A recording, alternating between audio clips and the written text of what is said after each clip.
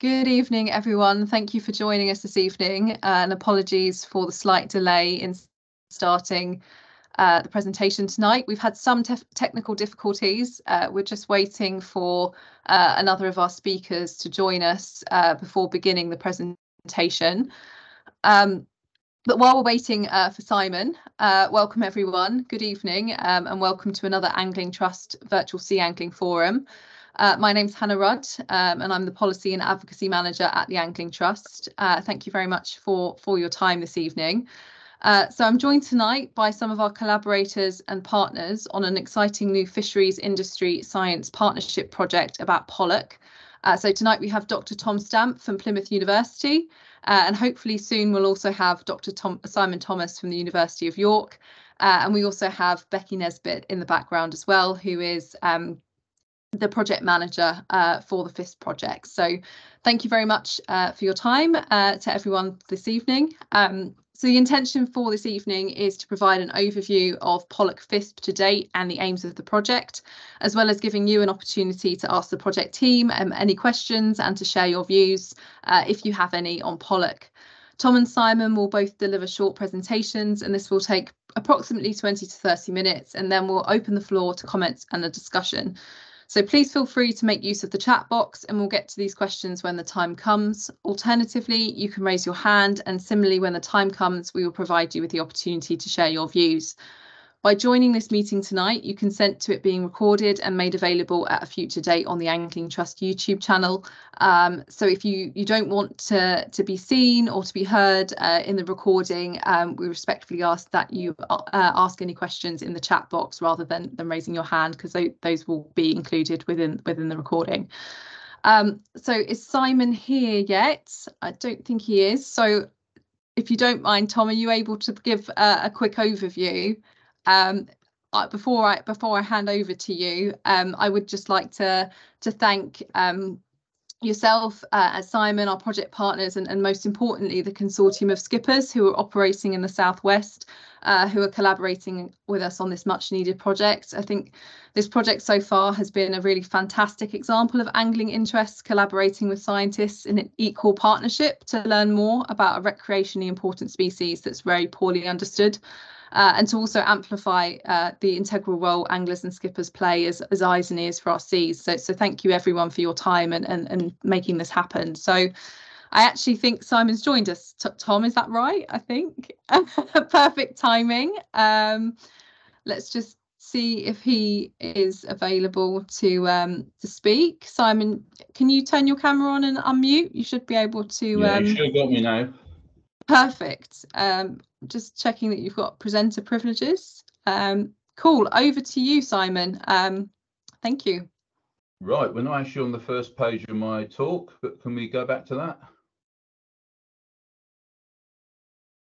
Okay, um, yeah, this is an introduction to the FISP Pollock project we've been involved with. Um, it started off without any funding in 2022 uh, and it was a collaboration between myself, uh, uh Dave Wren, and 12 other charter skippers. Um, the reasoning behind it was that there was considered to be a decline in pollock catches in the West English Channel. Now, I'm not saying there's a decline in stock. I was just saying there was a perception that, that there was um, a decline in catches. At the time, pollock are really understudied. Um, there is very little known about them, and what like, limited data known was really um, just uh, commercial catches and or um, sampling events from boats and things. So the assessments possible weren't what we call gold standard. Um, we were lucky enough last year we managed to combine with the data um, with the acoustic tagging project from Plymouth to create a FISP bid and actually, what we are aiming to do is to produce some gold standard data um, based on recreational catches, but the same will apply for commercial catches. And it's from an area between Weymouth and Land's End, and it stretches all the way out to well, as far as area uh, 7E does, which is practically the Channel Islands.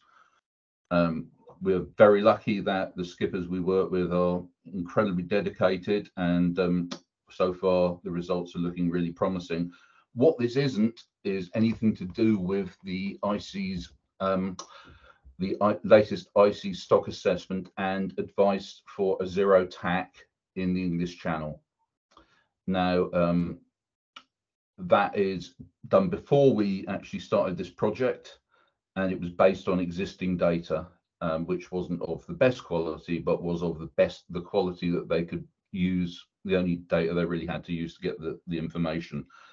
Um, just to I went out yesterday with Andy Howell and had one of the best days inshore reef pollocking I've ever had. Um, and it reminded me of an awful lot of years ago when I used to commercially fish out of Falmouth. Um, we used to drive over that area um, to actually actually catch fish on the wrecks. Um, now that told me two things. First of all, you should never assume that um, there aren't fish that you're driving over the top of. But also that just because you see fish in one area doesn't mean there are fish in others or it doesn't mean that you know if you see nothing it doesn't mean fish that there you know there aren't fish in other areas. Um, it's very much fish move. Uh, fish are movements and numbers are controlled by such things as climate as well as things like fishing pressure now i'm at heart an ecologist so i'm very much aware of those different factors um, the basic fisheries models rely on things remain, remaining constant over a period of time, and this might not always be true. Um, anyway, I'm very pleased to um, then hand over to Tom, who was actually going to do some stuff about the tracking data. Now, the reason tracking data is so important is we know nothing about movements of pollock, and this is the first time anyone's made any attempts to actually look for them. So go for it, Tom. Thanks, Simon. Um, I'm just going to share my screen.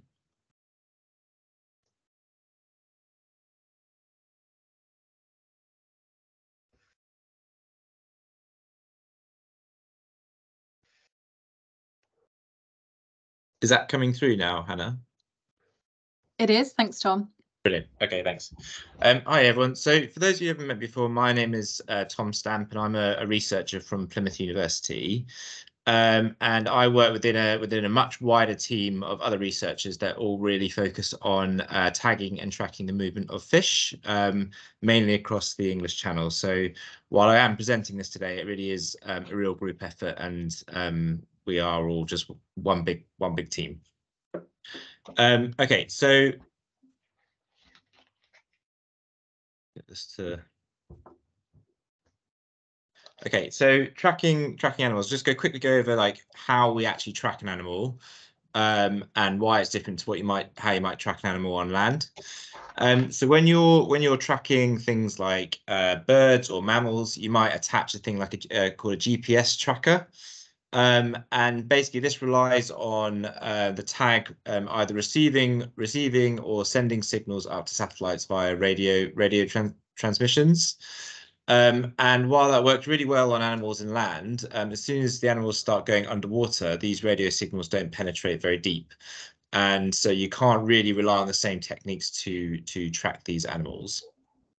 Um, so what we rely on mainly is a technique called acoustic telemetry. And instead of uh, tags emitting uh, radio waves, uh, they emit sound. Um, and these these tags basically are either attached to or implanted within an animal. And they basically just emit a constant um, acoustic signal. Um, so it emits a signal every one to four minutes over a period of uh, two to three years. Um, and we then deploy our own versions of satellites along the seabed, uh, which we call receivers, which can detect these pings and they record the time and date that they picked up these animals making these movements. And um, on the top top left of the slide, I've got a, a picture of uh, a tag which goes inside the animal. Um, so that's um, basically like an oversized tic tac. Um, and then on the top right, I've got a picture of a receiver that we that we deploy. Um, so why why would you uh, want to track uh, pollock? Um, so as Simon mentioned, there was this sort of perceived decline in pollock uh, pollock catches within the southwest. Um, and actually, when we started looking into this for the uh, FISP bid that Simon mentioned, um, we realised that it, in within the ICES advice, there'd been a um, an estimated 70% decline in um, pollock across uh, the southwest region over the last 20 years. And one of the potential questions that could be asked by this is that is this is this decline in pollock just simply the fact that the fish might be leaving the area and they might be migrating away. And that's one of the reasons why you might want to track these track these animals to try and really identify these um, these questions. Okay, so um, I mentioned that we we use receivers to track these animals, um, and we now have quite an extensive network of these receivers across the southwest. Um, so each gold point is where we've deployed our receivers. So we've got about, um, I think about 50 of these units deployed at a variety of um, inshore sites around sort of uh, bay embayments, uh, rocky reefs, shipwrecks. Um, and we really try and uh, place these receivers at locations where um, we've been told that pollock are likely to turn up or um, but as a result of some kind of interest from um, organisations like the um, Regional Fisheries Authority or Natural England. Um, this network of receivers that we deploy across the southwest is combined with our much larger system that we that we've been deploying over the last two years. So as I say, the, the gold receivers are the ones that we've deployed over the last two years as part of a project called Fish Intel. Um, and this sits within a much larger system of receivers, uh, which are highlighted in purple. Um, and um, by collaborating with researchers across Europe, we can uh, track animal movement across much bigger scales than we could possibly manage on our own. Um, and this this initiative is called the European Tracking Network. Um, and over the past years, we, we're not just working with on pollock, but we're also working on species like bass, and we have used this system to track um, their long-range migrations. So um, I've got a black line there on the top plot. Um, and that is actually a real track of um, a bass that we we tagged um, in. Um, I think we tagged that one in Sussex. It then moved over to Belgium and then back to Devon and then back to Sussex again. So it just shows you the power of this kind of technique to track these long range movements. Right now back to pollock. Um, so um, we started uh, tagging pollock last year. And um, as I'm sure a lot of the members of the audience will realise, the pollock are really susceptible to the effects of barotrauma. Um, so I um, I took this this picture from um, a slide in the States where um, basically it just demonstrates that when fish are caught in deep water, so around 120 feet, um, and they get brought to the surface, the gas inside their swim bladder will rapidly inflate and it has nowhere to go. And that that results in the fish being really blown when they come to the surface um, and they can have quite severe um, uh, physical symptoms which mean that they might die if we don't if we don't deal with this issue immediately. And so um, in order to track pollock we've had to go down quite an elaborate route of figuring out how figuring out how best to uh, mitigate this this barotrauma um, so that we can uh, catch, tag, and then release fish safely, and they can give us lots of lovely data on how these animals are migrating and behaving within within the southwest. Um, and um, one of the main methods that is really advocated within um, the literature is using what's called um, a descending device, which is where you bring the fish up, you do what you need to do to it really, really quickly, minimize the impact on that animal, and then you use some kind of weighted enclosure to take that fish back down to its capture depth where it can recompress naturally without any need of any sort of um, um, real sort of physical intervention to try and release that pressure. Um, and our, our version of doing that is we use um, a cage. So we bring, as I say, we bring the fish up, we tag the fish, which is sort of mini operation. Uh, the fish is only held at the surface for two minutes. We then take put the fish back in the cage and that goes back down to depth. And then we monitor the recovery of this fish uh, remotely using a, a, live feed camera. And only when that animal um, achieves um, full recovery, we then release it. Um, and I've just got some videos here of pollock um, recovering from this from this procedure.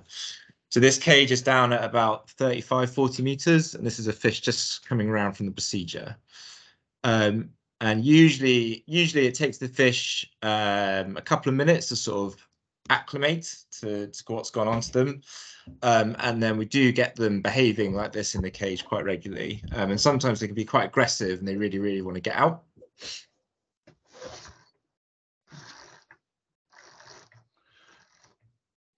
There we go. Okay, so once we're once we're convinced that that fish is now swimming around of its own free will, uh, we then open the bottom of the cage up using what's called an acoustic release mechanism. Uh, so that's the cage door open, and then you should start seeing the, the fish swim off. Now, once the fish has been released, um, that tag, as I say, is just emitting a constant signal, and as that animal swims around, we then we then pick up that that data.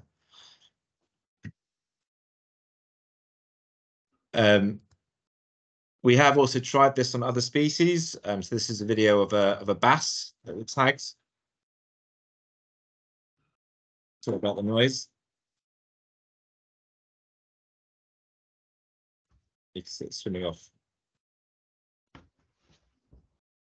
Um, and this this really shows that um, unless this, it, this method has been really successful in releasing these fish, um, and without using this kind of uh, method to release the fish back at depth, um, they they quite often can't get down on their own will, and they quite often just get attacked by the birds. Um, and so we really do need to use these kind of methods to get these fish back down to the depth in which they were caught, and so we can try and minimize the um, the effects of this this barotrauma.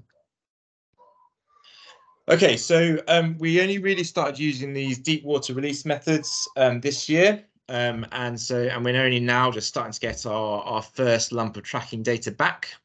So um, since uh, January this year, we've we tagged around 48 fish using this this deep water release method, um, and um, we've now managed to get our receivers back to download the data.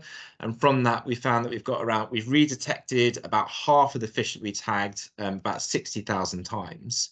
Um, and this really exciting data is, is one of the first attempts to, to tag and track pollock successfully um, using these types of methods.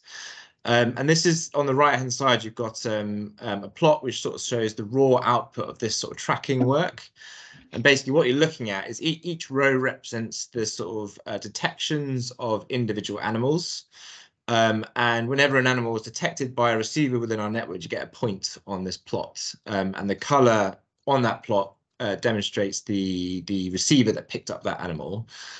And uh, what we're seeing is that um, some of the animals are sticking around. Um, so they're detected quite regularly at the same receivers again and again and again.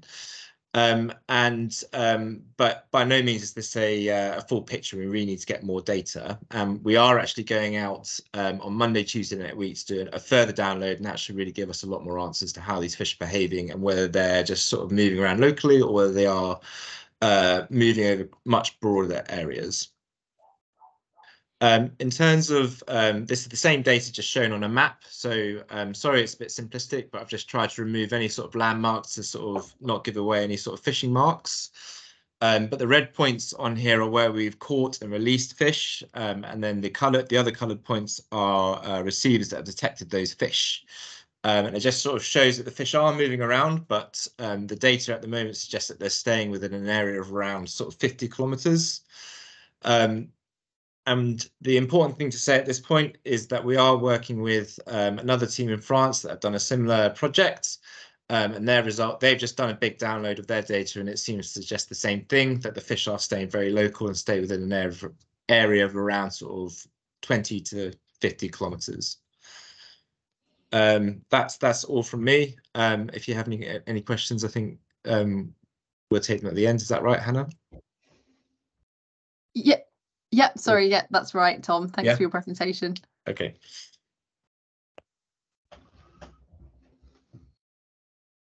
Great. I'll just pass over back to Simon now.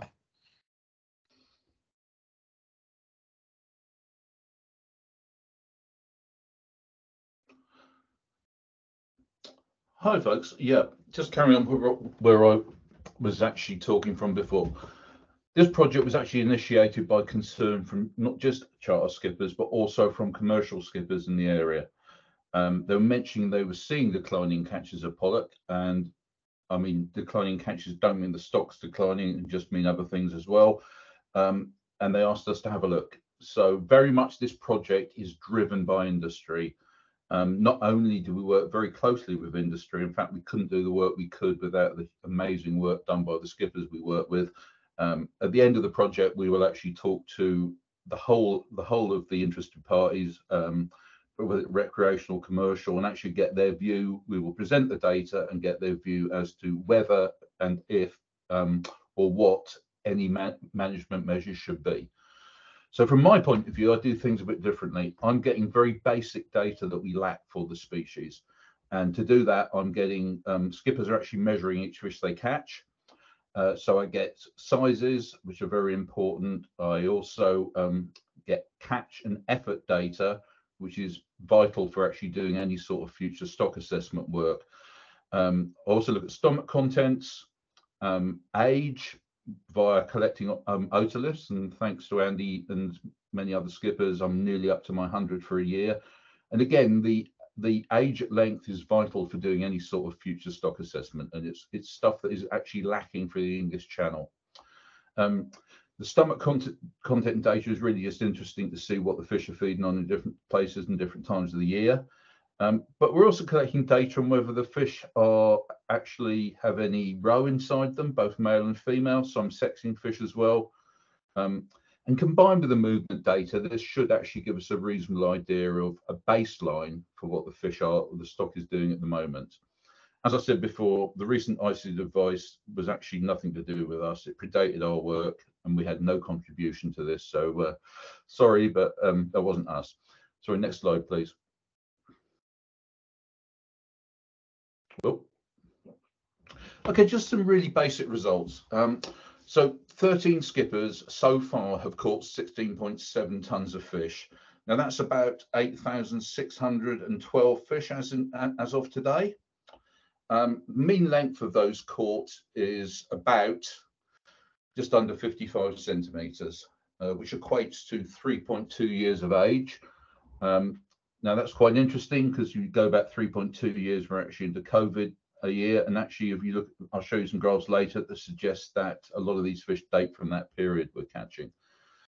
Um, mean weight is 1.9 kilos. Uh, for for those who don't do kilos, which I must admit, I still think in pounds and ounces when it comes to fish, that's about 4.3 pounds.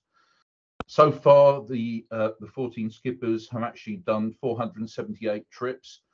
And if you work out just the rough value per, per trip, um, value per kilogram for the commercial fleet, it's about £24.30p, which is a decent amount of money. Now, I'm not saying that commercial, you know, the commercials don't get anywhere near that price, but I'm by no means saying that the commercial fishery isn't valuable.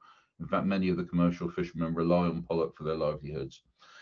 Uh, the raw catch per unit effort, which is in kilograms per trip, is just under 35, um, 35 kilograms per trip. Now, I've actually done some models which takes into account the variation across the region. So at the moment, I've got very different catches in the east to the west. So we're trying to standardize that to produce one index per year, which actually uh, um, covers the whole region. Um, it's a little bit different. It's a tiny bit higher than that, but not a lot. Um, interestingly, for those who are interested, the catches this year are slightly higher than they were last year, but they're still within the, the in the margin of error, so you can't conclusively say this year is better than last year. Next slide, slide please. These are just the distribution of sizes for reef caught and wreck caught fish. Actually, surprisingly, the mean size for reef and wreck caught isn't that different. Um, roughly the same average size. What I will say is that wreck caught fish, there's a longer tail on the right hand side. Um, so the really large fish tended to be caught from reefs, from wrecks rather. And anyone who's fished for pollock will know that this is normally the case. Um, what I would say is there were probably seen less of the really large, the double figure fish we used to see from many of the reefs. You know, my diary is going back seven or eight years where 10 pound fish were reasonably common. We haven't seen so many of those in the time we've been doing the project. Um, but we, and we haven't seen so many of the big fish out deep either. Um, again, that might just be, you know, uh, as I say, we're collecting baseline data rather than anyone else. Uh, on the right hand side, you can see uh, Bryce Stewart and Hannah holding up some very nice pollock we caught a few months back from uh, from a reef system out of Plymouth. Uh, and we have a very fun day catching pollock and actually extracting the otoliths from them. So those pollock not only um, went to a good scientific home, they also got filleted off and they were my supper. So very nice too. Next slide, please. This is just a breakdown from area. Now, basically 28E4 um, is the far west of the region. So that's around Penzance. Um, 28E6 is actually around the Hurds Deeps. Um, 28E7 is actually a bit further up on that line. Um, I mean, what you see is in sizes, you don't see a massive difference. Um, most of the fish were caught from 29E5. Um, you can see there it's quite a tight distribution due to the large numbers there. I will say that there were most of the bigger fish were actually caught from the far west of the region or the southern area towards the Hurds Deeps. Um, the 30E7, which is actually the inshore grounds off in Lyme Bay, the fish tended to be smaller. Um, now we are seeing it also corresponded with the catch per unit effort. So the catches from that region were less than we were seeing in the west. So whether that's movement or whether that um, actually represents a separate stock, without doing further further um, uh, collections of different data, we really can't know. Now, I'm hoping that Tom's data will help us cover some of the movement stuff, but it would be very interesting to see if the stock at Far West is actually genetically similar to that, um, identical to that we get here, or whether there is a separate stock out West. Next slide, please. Again, ages. Now, if you look at these graphs, as I said before, the mean age is about 3.9 years. Um, wasn't greatly different from those from the wrecks, but you can see there's there tends to be that tail again with the older fish. Now pollock will mature around about 50 centimeters. Um, that's about 95% maturity rate, and that equates to about four to five years. So most of the fish we catch are just about mature. Um, again, wrecks, much the same. But again, you've got some of these really old fish. I think the oldest fish we got was about 14, 15 years old, something like that. And that re that represents a fish of just over, over 20 pounds. Um, anyone who can remember back in the day, 20 pound fish weren't that uncommon, but there were relatively few seem to be caught this um, now. No, whether that represents we're not going as far because of fuel prices or a real sort of change in the stock, really don't know at the moment. Next slide, please. Catch per unit effort. Now, mean catch per unit effort for the whole time is 34.9 kilo, um, kilograms per trip. So your average angling trip, um, charter trip is catching that. Now, there is a, a big change between um, the months.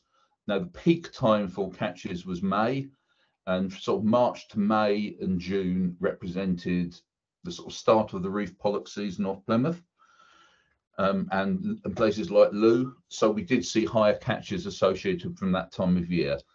But some of the, you know, some of the higher, highest catches didn't come from the reef system. They actually came from the wrecks out west.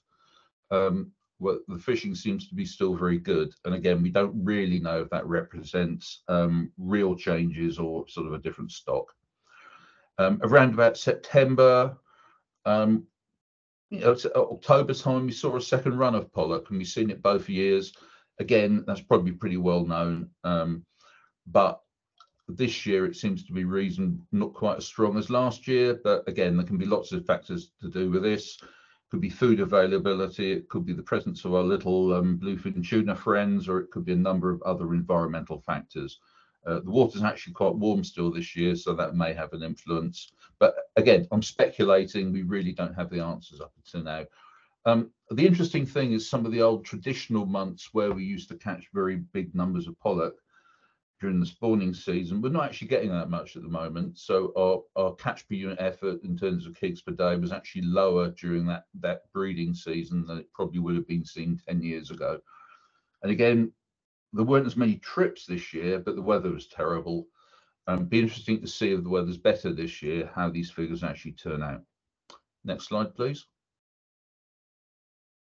Again, this is just a graphical representation of it. And now the black line in the middle represents the median catch per unit effort per month. And the red sort of, but the, the red sort of colored in area represents the 95% confidence intervals. Now, all that means is that between those two figures, we are 95% sure that the mean is between the two. Um, as you can see during, you know, there are reasonable amounts of doubt in some of these figures, especially sort of during March and during the end of the year, whereas the um, it actually starts to tighten up during May, June, up to up to September time, and that probably indicates we're pretty close to actually the correct numbers. Um, if you go on to the next slide, then you actually see if I can if I collect um, actually put in the number of anglers involved on the boats, we don't really see a pattern at all, but our errors are actually greater.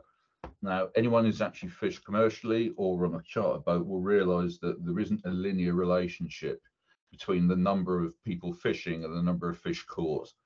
Um, you know, a decent commercial boy will catch as many fish with one person as a charter boat will with 10. Um, and part of that's down to skill, um, which is something that's quite difficult to capture in this sort of model, but part of it's due to disturbance. So we all know that if you have you know, eight or 10 anglers on a boat and the shoal pollock isn't that big, after a few drifts, you actually start to spook them, um, which is probably something you don't see with one or two rods in the water. Um, is there a pattern in there? Well, you'd be a brave person to say there was. Um, possibly, again, you're seeing the same pattern as you saw before. It just shows that this idea, which is used commonly in um, fisheries, that you should actually take down um, catch per unit effort to the number of anglers. Actually, in the case of charter anglers, may may not be true. You're probably better just looking at, at kilograms per trip. Uh, next slide, please. This is just a summary of the data all the way through. So um, on the left-hand side is the size. So at the bottom of the smaller fish and at the top of the larger fish. And that goes through all the way from the start of this project to now. So again, it shows the sort of paucity of data during the spring um, spawning season, uh, but also the intensity of data during the sort of May, um, the springtime pollock run on the reefs. Um, interestingly, um, you'll see that there aren't any of those really big fish caught from the reefs. Uh, the two largest fish were both wreck caught. Um, interestingly, they were both caught in the far west of the season, um, but most of the other large fish were actually caught from wrecks as well. Um, we saw a big concentration of fish from the reefs, but we didn't necessarily see many large fish. Um, again, it looks from there like and if you look at the data there was certainly more fish caught from less trips this year. Again it's two years data. I wouldn't really draw much from that. Um, the lines black and the red lines represent the um, the mean size from wrecks and reefs so actually you can see they're not that much different. Um, next slide please so one of the most important things for a stock assessment is actually the von Bertalanffy constants. Now for pollock, most of these are actually got from Irish Sea data, which dates back a lot of years.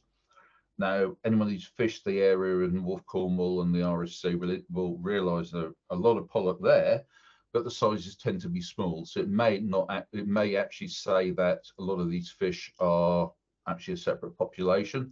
So it's very interesting to get these data from um, from UK English Channel caught fish. Now the data is pretty tight, as can be seen from the lower and the upper confidence intervals on the right hand side.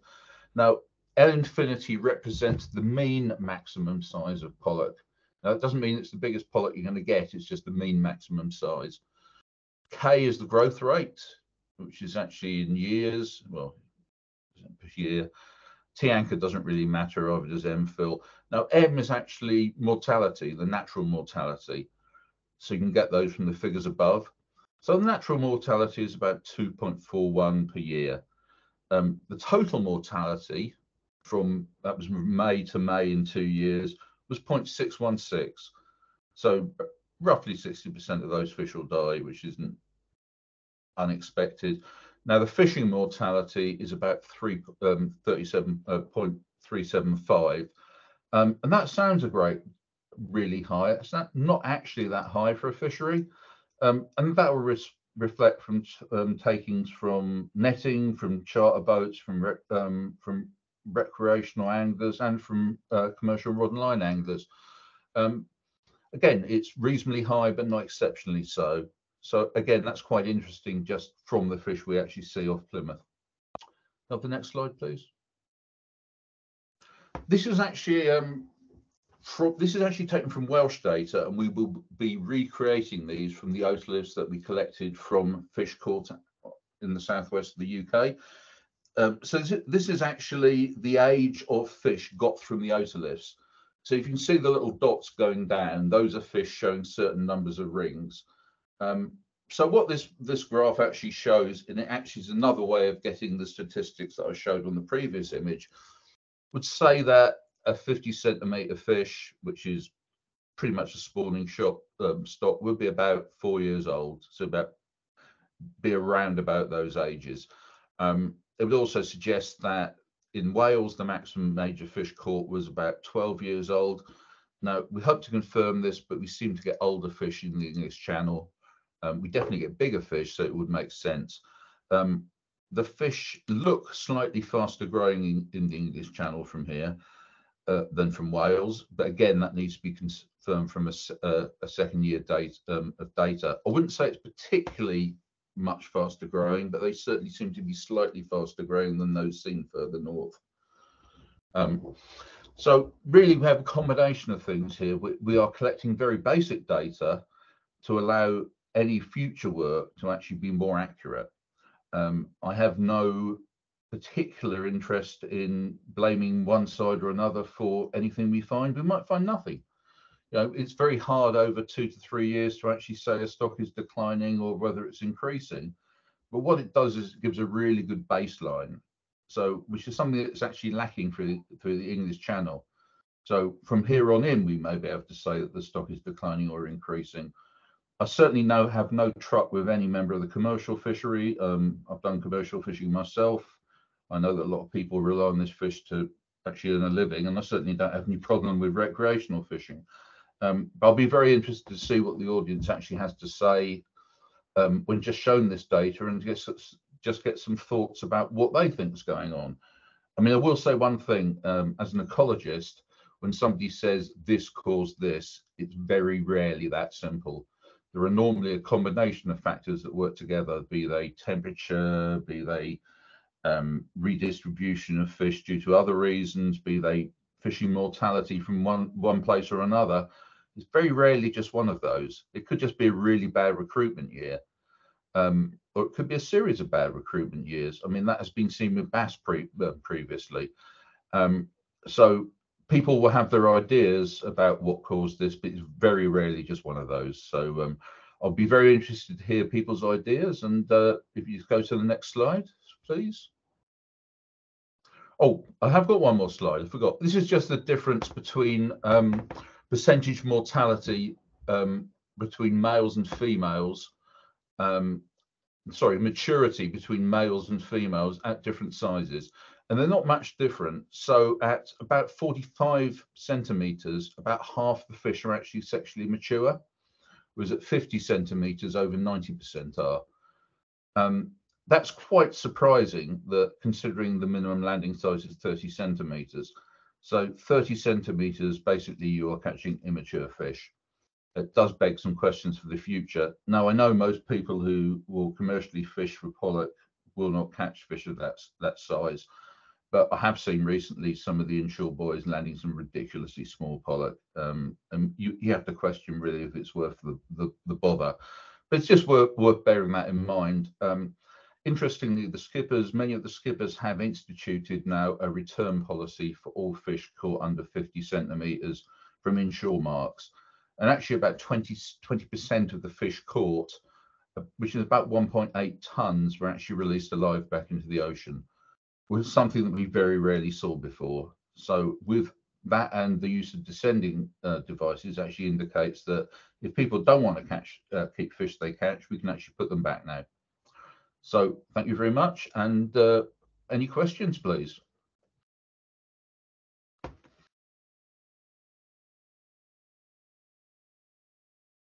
Thanks, Simon and Tom, uh, for those presentations. Really interesting work that you're you're undertaking.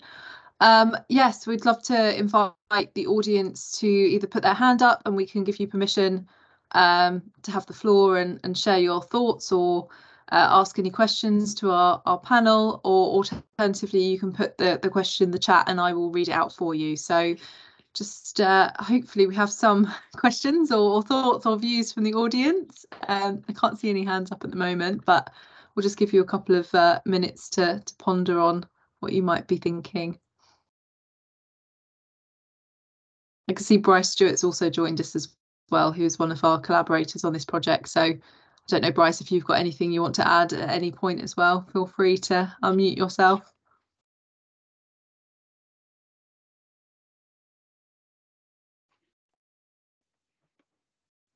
Thanks, Hannah. Yeah, hi everyone, and uh, great talks, um, Tom and Simon. Where are you, Bryce? I know it looks very dark, doesn't it? I'm gonna, I'm gonna uh, put some more lights on. this camera's doing weird things. It's a new computer. Looks like you're in a cave. Always haunted. yes.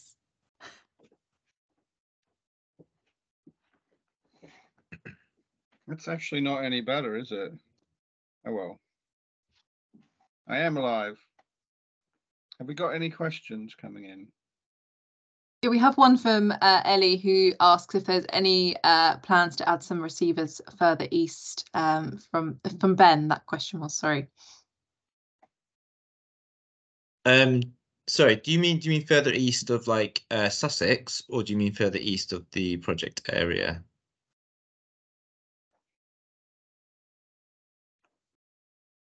We shall wait clarification. I don't know. um, if it's fur further east from the project area, we have we have receivers. Uh, a, a brand new batch of receivers have just gone um, in, which cover from uh, roughly Portland um, all the way to Poole Bay and then around the Isle of Wight. And um, yeah, so there is quite a dense network of receivers in that area now. Um, and that went in over the last year as part of another FISP project called Angling for Sustainability. Um, in regards to receivers further east than, say, Selsey Bill, um, at the moment we haven't got any plans to. Um, these units take quite a lot of uh, logistical, there's quite a lot of logistics involved with deploying and then maintaining them. Um, and at the moment, I think we're at sort of full capacity for what we can manage as part of our team. But um, we're always open to hearing um, if there's any other areas that people think might be interesting, and uh, we might be able to squeeze out a few more if if um, people think that would be a good good way to use our resource. Thanks, Tom. Um, yeah, Ben's just added a clarification that he's a recreational angler based in Sussex um, area at Brighton, and he's also seen a big decline in pollock where he is. Um, Adrian's added a comment um, and said, is it not clear that the fishing community is shooting itself in the foot by targeting breeding fish when they come into the inshore wrecks, particularly netters?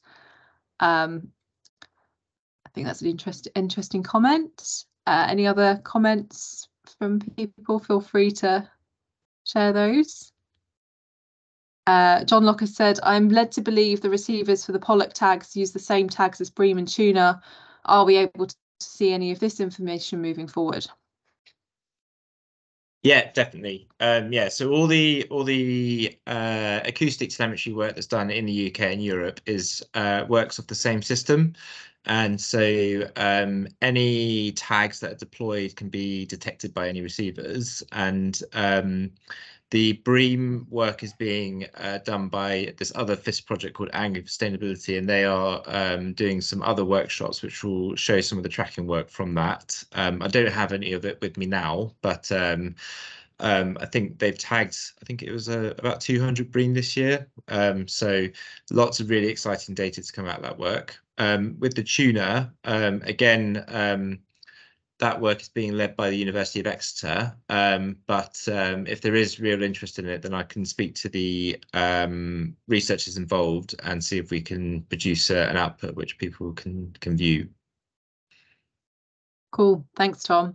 Um, yeah, and just on Angling for Sustainability, uh, the Angling Trust are also a collaborator on that project, um, and we've been um, joining for some in-person workshops all around the country and we'll definitely be doing uh, an online forum as well john uh, so people that can't attend those in-person events can also see uh, the outputs and learn more about the project. So stay tuned for that one um, and we'll share the date as soon as we've confirmed it.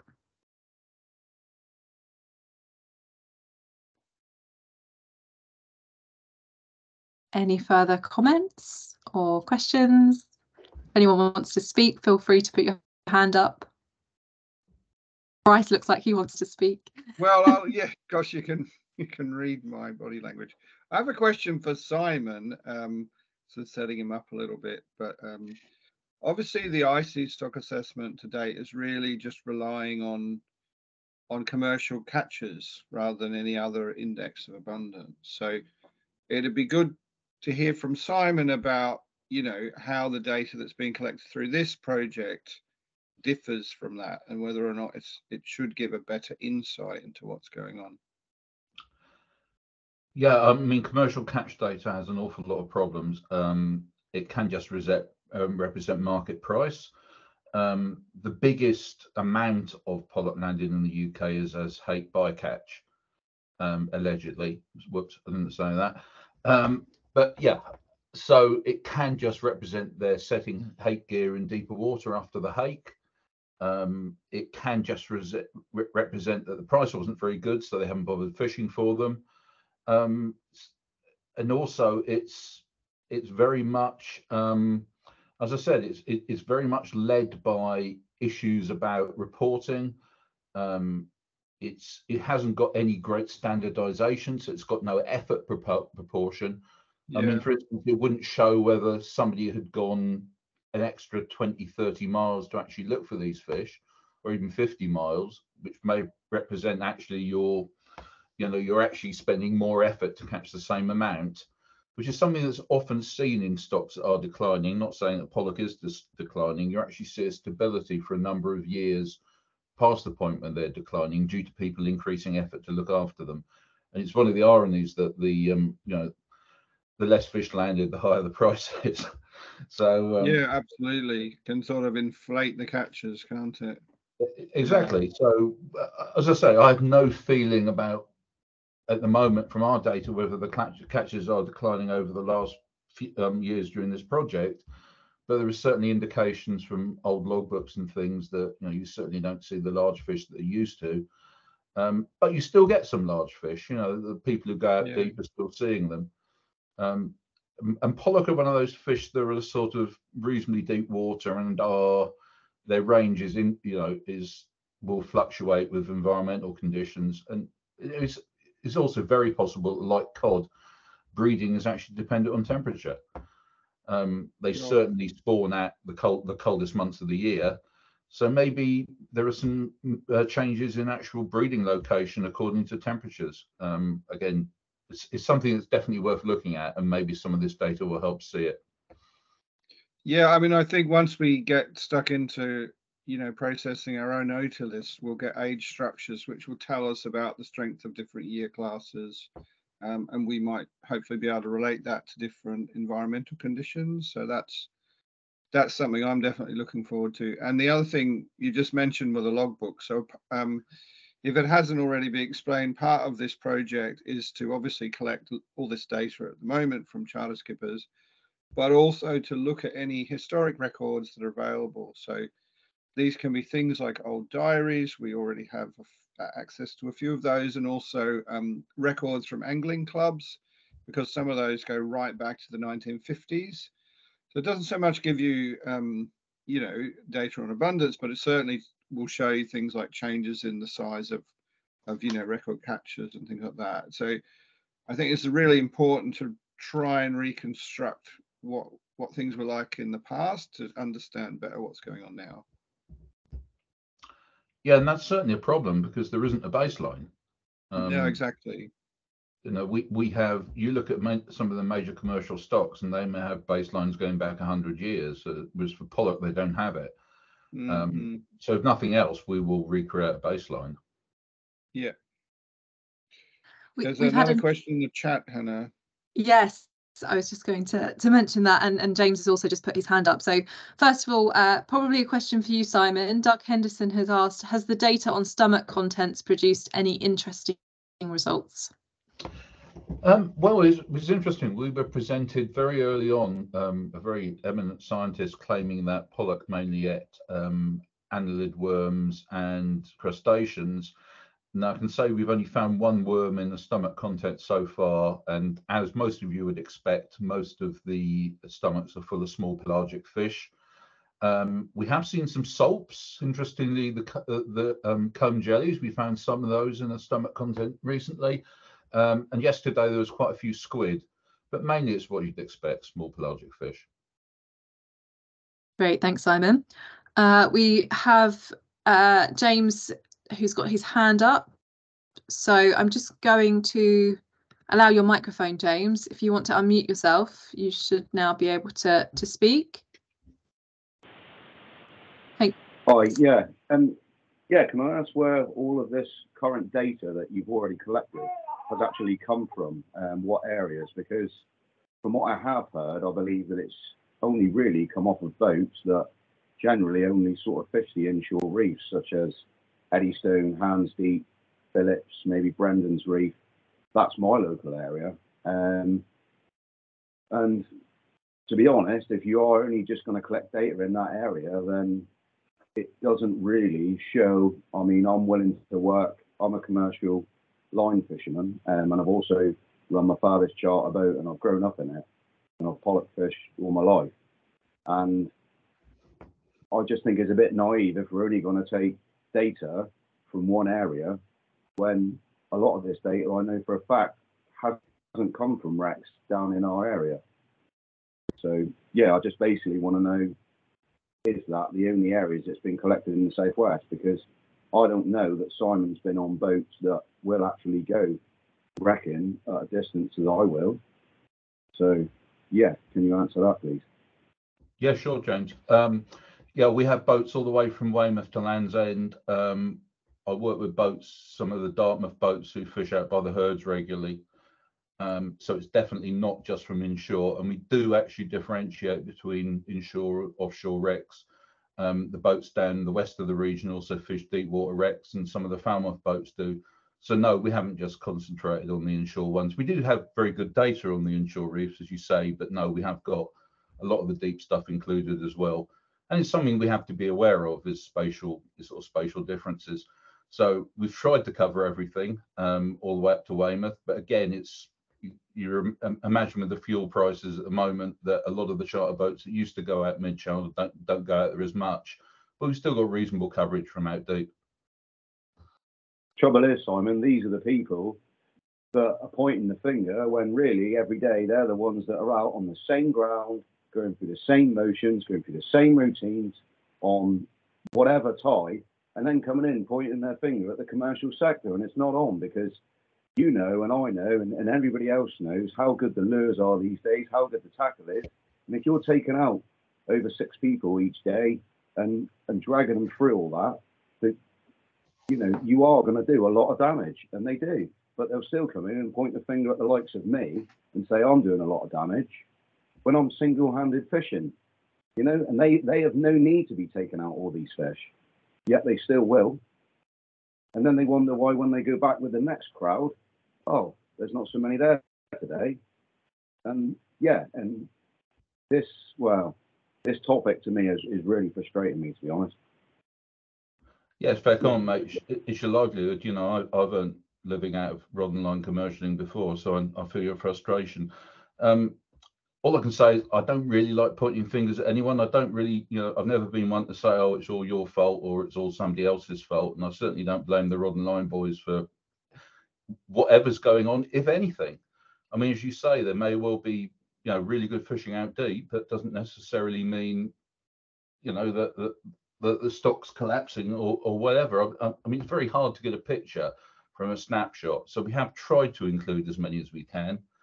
Um, as I say, I've got some, you know, some of the Dartmouth boats and some of the other boats that when they go pollocking, they go deep.